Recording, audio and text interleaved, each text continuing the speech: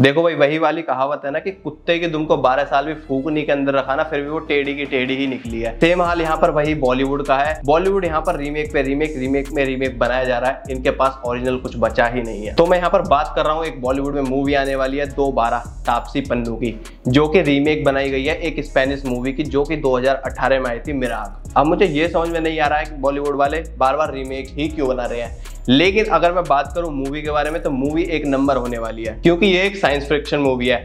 अगर ये बॉलीवुड वाले इसका रीमेक भी कर रहे हैं, लेकिन ये कुछ अलग साइंस से कनेक्टेड करके हमें दिखाने वाले हैं। क्योंकि इस मूवी के अंदर जो है ना, जो हमारे लोग होते हैं, वो मार्स पर जाते हैं। मार्स पर जाकर वो कुछ अलग करते हैं, ठीक है?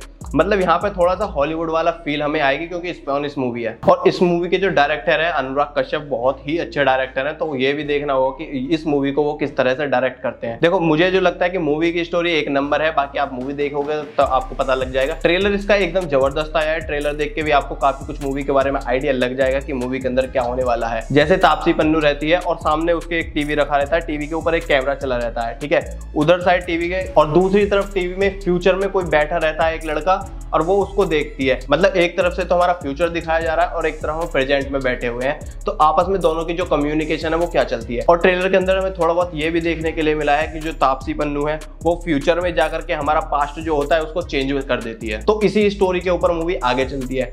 बाकी अभी तापसी पन्नू की एक मूवी आई थी साबास मित्तू, वो भी बहुत अच्छी मूवी थी, आप लोग ज़रूर देखेगा क्योंकि वो इंडियन वुमेन क्रिकेट टीम से रिलेटेड थी और उसमें थोड़ी सच्चाई दिखाई गई है। और ये मूवी हमें थिएटर्स में देखने के लिए मिलेगी 19 अगस्त 2022 को। तो आप और हम लोग साथ में मिलकर इस मूवी का मज़ा लेंगे। बाकी आप लोगों को मेरे रिव्यू कैसा लगा, मुझे कमेंट में लिख करके बताइए। और ये आप लोगों को ट्रेलर कैसा लगा, मुझे ये भी बताइएगा। बाकी मिलते हैं नेक्स्ट वीडियो में। धन्यवाद।